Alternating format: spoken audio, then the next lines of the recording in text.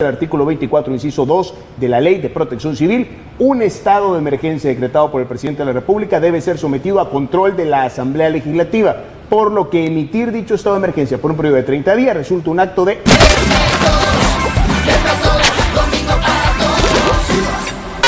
Y continúa. Muy bien, es parte de lo que eh, ha dado hasta el momento la Fiscalía General de la República que